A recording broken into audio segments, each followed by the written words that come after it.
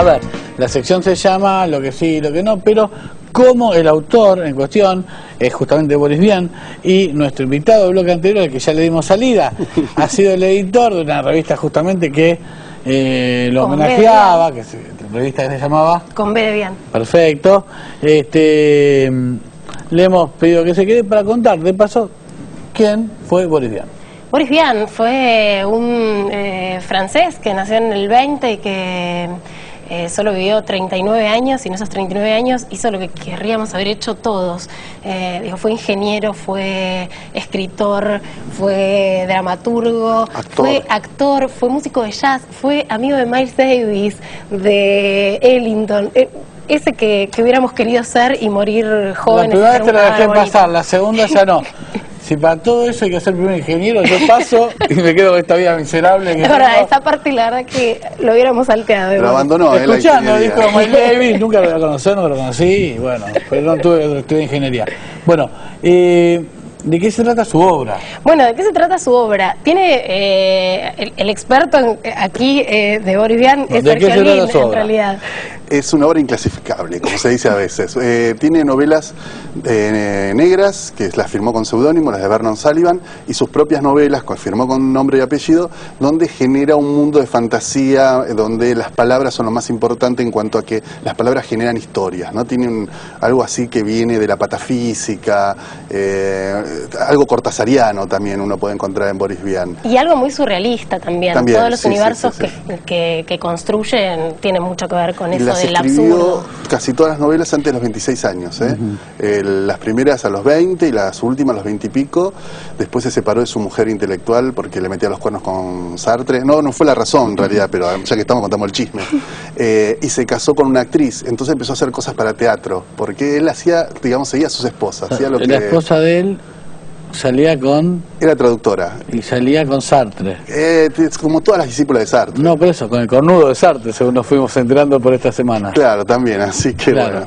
Bueno, de hecho, en esta novela hace mención al cornudo de Sartre. Primera, Recomendación, La espuma de los días. Es una novela, bueno, desopilante, la historia de dos amigos, uno rico y uno pobre.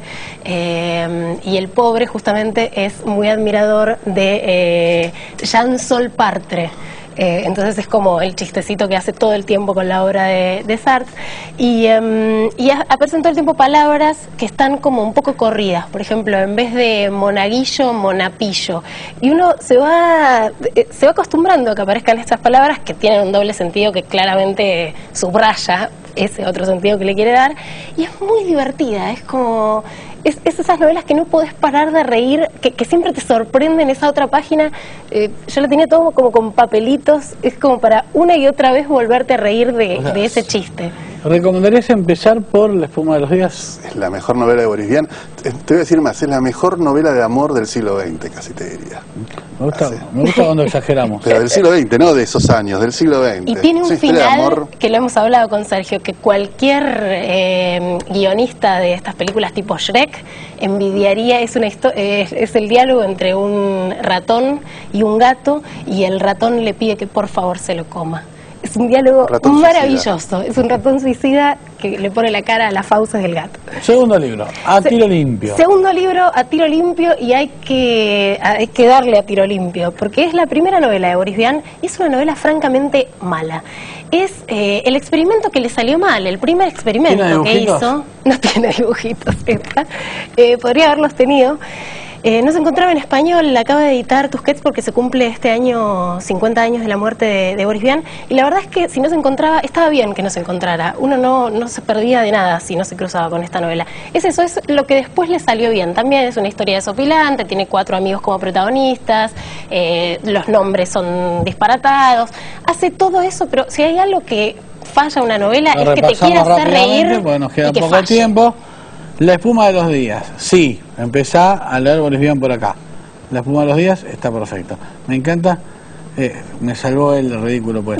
Yo lo sostenía con mucha, con mucha voluntad, sin notar que detrás mío estaba enorme.